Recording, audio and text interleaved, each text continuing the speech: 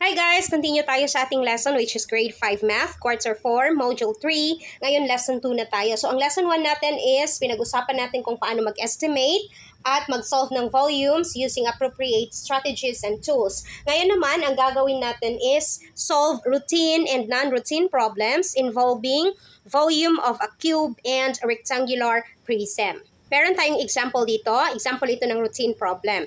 A cubic jewelry box has 100 cm on each side. What is the volume of the box? By the way, ang cube pala is, so, ang cube, ganito ang ating cube, no? Ayan. So, hayaan nyo na kung hindi straight yung line natin. So, ganito ang ating cube. While ang rectangular prism is a rectangle. It has the same base. Dalawa yung base niya, rectangle bases. And then, like this. Okay? So, ito yung cube at ito yung rectangular prism natin.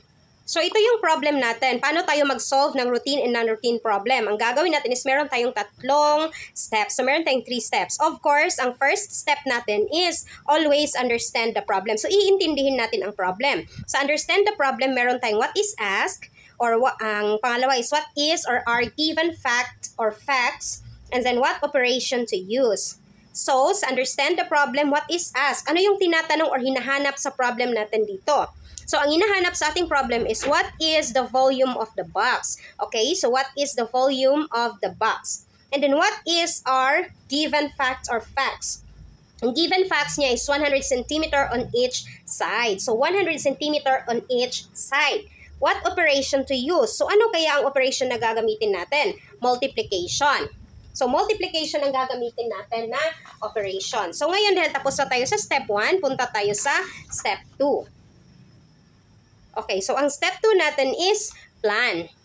Sa plan, planuhin natin kung paano natin isolve ang volume ng ating box. So dahil box siya, ibig sabihin cube siya. So ang formula na sa paghanap ng volume ng cube is volume is equal to side cube or ang side niya, i-multiply mo siya 3 times by itself. So ngayon is sa solve na tayo. Sa solve, gagamitin natin ang ating formula na volume is equal to S cube. So volume is equal to S cube or side cube Volume, ano yung um, side size ng kanyang side? 100 cm. So, volume is equal to 100 cm cube. Ang 100 cm cube, ibig sabihin, ang 100 cm, i-multiply mo ng tatlong beses. So, 1, 2, 3. So, 100 cm times 100 cm times 100 cm. So, i-multiply lang natin. So, 100 cm times 100 cm, 100 times 100 is equal to 10,000. Centimeter times centimeter, ilang centimeter meron tayo? Dalawa. So, that is why centimeter squared times 100 centimeter. So, 100 or 10,000 centimeter squared times 100 centimeter, 10,000 times 100 is equal to 1 million. And then centimeter squared times centimeter, ilang centimeter na lahat? Tatlo. So cubic centimeter. Ibig sabihin, ang volume ng ating um, jewelry box na merong side na 100 centimeter, ang kanyang volume is 1 million cubic centimeter. O diba, napakadali lang mag-solve ng routine problem. Ngayon naman, ang gagawin natin is a non-routine problem. So, medyo challenging ang ating non-routine problem. Okay, so meron tayong example dito. Example of a non-routine problem. A rectangular water tank can hold 300 cubic meters of water. It has a length of 10 meter and a width of 5 meters. How deep is the water tank? Okay. So, ano yung step natin? Step 1 natin is understand the problem.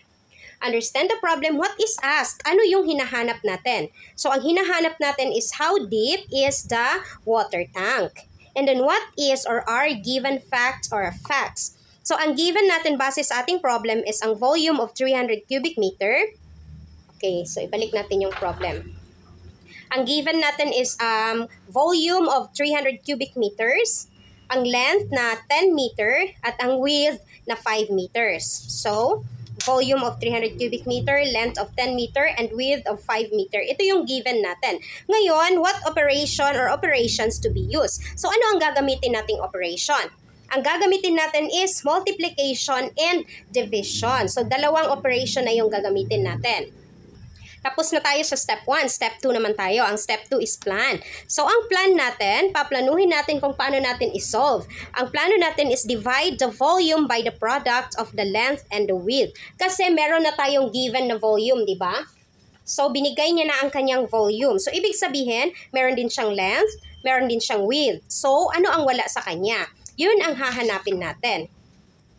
Okay, so ang plan natin is i-divide natin ang volume sa product ng length at width, gaya nito. So 300 cubic meter divided by the product of the length and the width is equal to, ano yung hinahanap natin? Ang kanyang height. Kasi ang problem natin is how deep is the water tank or kung gaano kalalim yung water tank. So height ang hinahanap natin. Step 3 natin is solve. So solve. Ito yung formula natin. Bakit tayo naka-arrive ng formula na ganito? Height is equal to volume divided by length times width. Kasi alam natin na pag solve ng rectangular prism, ang kanyang volume is equal to length times width times height. So, ito yung formula natin. Length times width times height. Pero, given na yung volume natin, given na rin yung length natin at ang ating width. So, ang hinahanap natin is si height. So, paano natin kukunin ang formula para ma-solve natin si height? So, ang ginawa natin, volume is equal to length times width times height. Ang gagawin natin is i-divide natin dito sa right side ng length and width para ma-cancel natin si length and width. At dahil nag-divide tayo ng length and width dito sa right side, gagawin din natin siya sa left side. So, i-divide din natin si volume ng length times width. Okay, so proceed na tayo. So, volume over length times width equals, so length times width, cancel, length times width, cancel. So, ang naiwan is si height. So, height. So, ibig sabihin, volume over length times width is equal to height or height is equal to volume over length times width. So, kaya ganito ang ating formula. So, i-solve na natin, height is equal to volume divided by length times width. So, height is equal to, ano yung volume natin? 300 cubic meter. Divided by length, ang length natin is 10 meter. Multiplied by the width, ang width is 5 meter. So, 300 cubic meter, 10 times 5 is equal to 50. Meter times meter is equal to meter squared. So, 300 cubic meter divided by 50 meter squared isolve natin. 300 divided by 50. Okay, so 300 divided by 50 is equal to 6. 6 times 0 is equal to 0. 6 times 5 is equal to 30. Subtract 0. So, ang sagot natin, ang height natin is 6 meter. Bakit naging meter siya?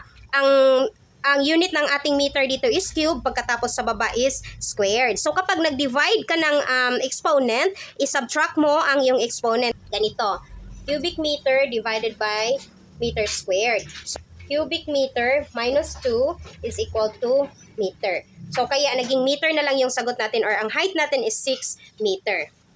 Again, kapag nag-divide ka ng exponent, isi-subtract mo sila. Kaya 1 na lang yung or meter na lang yung naiwan kasi 3 minus 2 is equal to 1. So, ang lesson na yan about exponents is nasa grade 7, I think. Pero at least, alam natin kung bakit naging meter na lang yung naiwan. Ta cube dito at saka squared dito. That's all for today's video, guys. See you in our next lesson. Bye!